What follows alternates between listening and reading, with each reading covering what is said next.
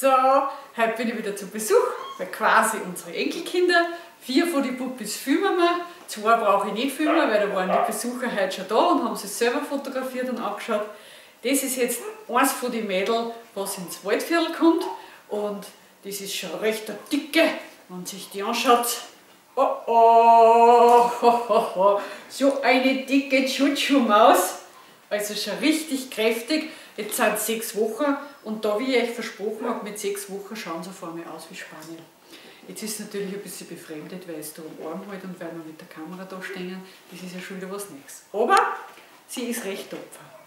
Gut, dann versuchen wir die nächste Filme. Bis dann! So, da haben wir das Gina-Schatzi. Die hätte jetzt gerade einen Anruf gekriegt, aber da haben wir jetzt keine Zeit dafür. Ja? Winkst du mal deine Leute, sagst Hallo, ich habe jetzt einen Filmtermin, jetzt geht nichts mit Ratschen. Ja? Sie ist ein bisschen kleiner wie die andere Hündin, aber auch sehr kräftig, gut im Futter, frecher Teufel und schon richtig putzig und lieb. Und eh, genauso wie die andere schon jetzt mit sechs Wochen haben sie vor mir richtig diesen Spaniel-Typus, dieses wunderschöne Gesicht. Okay?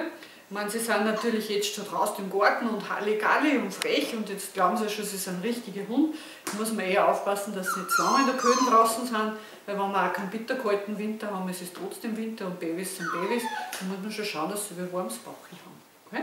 So, und jetzt schauen wir uns noch zu den Burschen.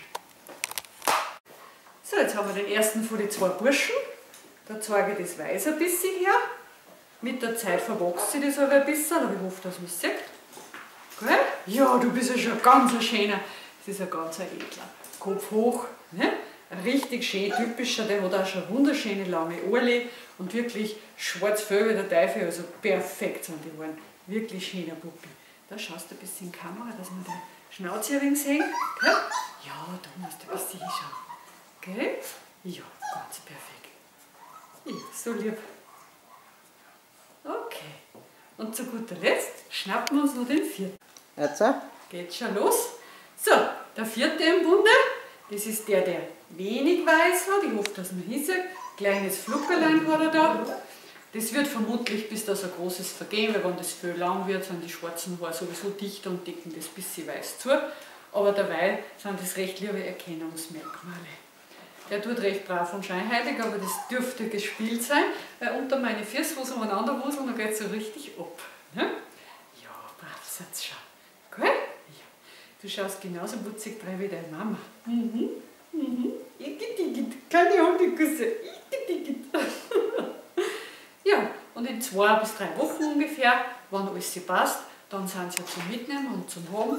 Und man sieht, ja, das geht ganz schön schnell. Und wenn man jetzt schaut, wenn wir das letzte Mal gefilmt haben, was da für kleine Schnucke waren, und jetzt vergleicht es einmal mit mir, was das schon für Bären sind. Die kannst du schon fast nicht mehr in zwei Hände holen. Okay? Und dann noch winken und sagen Tschüss, bis zum Abholen. Baba.